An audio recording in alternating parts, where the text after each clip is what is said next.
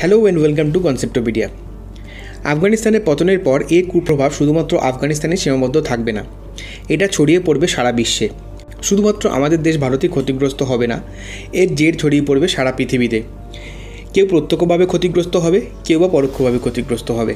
তাই আমরা এই ভিডিওতে আলোচনা করব যে তালিবানদের হাতে আফগানিস্তানের পতনের পর মিডিল ইস্ট দেশগুলিতে যেমন Iraq, Iran, Syria, Jordan, Saudi Arab Yemen ইত্যাদি দেশগুলিতে কী প্রভাব পড়বে?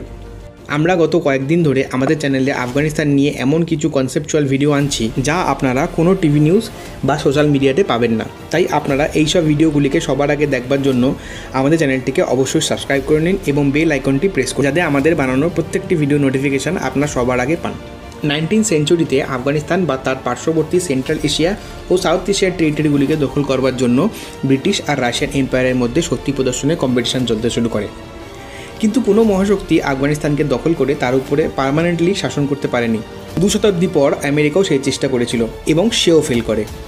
আফগানিস্তানের ইতিহাস ও আফগানিস্তানের ইউএস ইনভেশন আমরা এই ভিডিওটিতে খুব ভালো করে কভার করেছি। তাই আপনারা এই ভিডিওটি অবশ্যই রেফার করতে পারেন। অনেকে আমেরিকার আফগানিস্তান থেকে এই শীঘ্র পলায়নকে নাইনটিন সেভেন্টি ফাইভে ভিয়েতনাম থেকে আমেরিকার পলায়নের সাথে তুলনা করেছেন। কিন্তু আফগানিস্তান থেকে ইউএসের উইথড্রল আরও বেশি ক্রিটিক্যাল। ভিয়েতনাম থেকে উইথড্রলের পর আমেরিকার ক্রেডিবিলিটি ও আমেরিকার সেলফ কনফিডেন্টের উপরে অনেকটাই চোট লাগে। কিন্তু তাও চায়নার উদ্ভবের আগে পর্যন্ত পশ্চিম প্রশান্ত মহাসাগরে ইউএসএ একমাত্র ডমিনেটিং পজিশনে ছিল।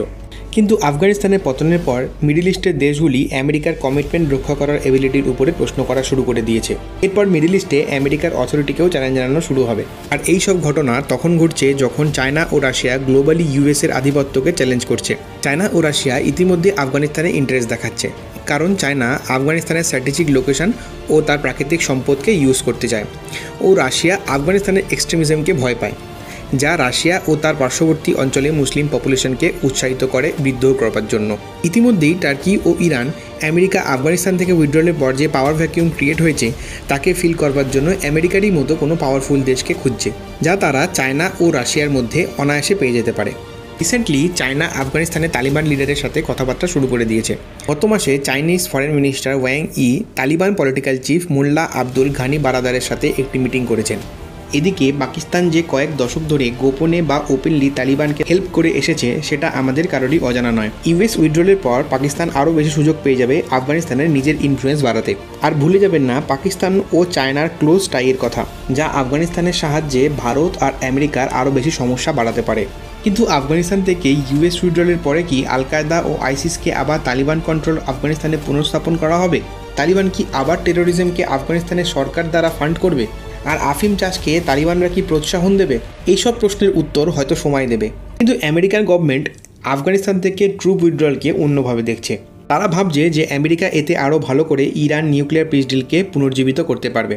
কিন্তু প্র্যাকটিক্যালি ইরান নিউক্লিয়ার পিস ডিলকে পুনর্জীবিত করা আরও সমস্যার ব্যাপার। কারণ ইরানের নতুন নির্বাচিত কট্টরপন্থী প্রেসিডেন্ট এতে আরও অবস্ট্রাকশন ক্রিয়েট করতে শুরু করেছেন। এর ফলে মিডল ইস্টের আনসার্টেনিটি আরও বেড়ে যাচ্ছে। ইরান হয়তো আফগানিস্তানের শিয়া পপুলেশনের উপর যাতে কোনো অত্যাচার না হয়, তার জন্য অনেক সময় তালিবানদের সাথে রিলেশন মজবুত করেছে।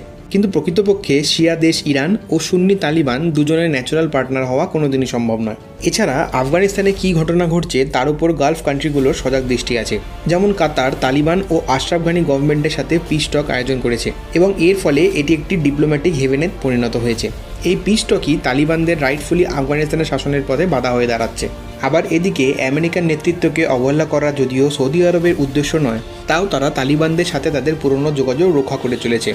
তাই সৌদি আরবের ফরেন পলিসিতে আফগানিস্তান একটি স্পষ্ট জায়গা রাখে। কিন্তু সবথেকে বড় ব্যাপার, ইউএসের ইমেজের খারাপ হওয়া তার মিডল ইস্টের মডারেট ফ্রেন্ডলি দেশগুলিকে বিপাকে ফেলতে পারে। এর মধ্যে জর্ডান ও ইজিপ্ট উল্লেখযোগ্য।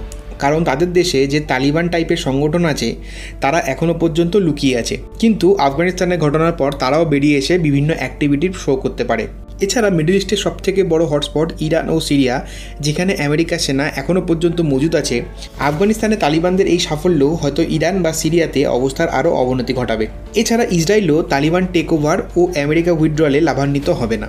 আমেরিকার উইথড্রলের ফলে ইসরায়েলের সবথেকে বড় ফ্রেন্ডলি নেশনের সাপোর্ট মিডল ইস্ট থেকে চলে যাবে, যা ইসরায়েলের ডিসঅ্যাডভান্টেজে পরিণত হবে। এছাড়া লেবানন, যা অলরেডি একটি ফেল স্টেটে পরিণত হয়েছে, সেই লেবাননও তালিবানের টেকওভারে ক্ষতিগ্রস্ত হবে, কারণ এর ফলে তাদের দেশের এক্সট্রিমিস্ট গ্রুপও সক্রিয় হয়ে উঠবে। আমেরিকা হয়তো তার সব মিডল ইস্টের দায়িত্বগুলি থেকে সরে আসবে, কিন্তু পরবর্তী কিছু সময় হয়তো আমাদেরকে কিছু শিখিয়ে যাবে।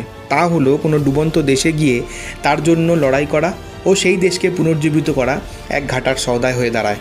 আমরা আমাদের আজকের এই ডিসকাশন এখানেই শেষ করছি। যদি এই ভিডিওটি আপনাদের ভালো লেগে থাকে, তাহলে ভিডিওটিকে অবশ্যই শেয়ার করুন লাইক করুন এবং আমাদের চ্যানেলকে সাবস্ক্রাইব করে আমাদের পাশে থাকুন। Thank you team কনসেপ্টোপিডিয়া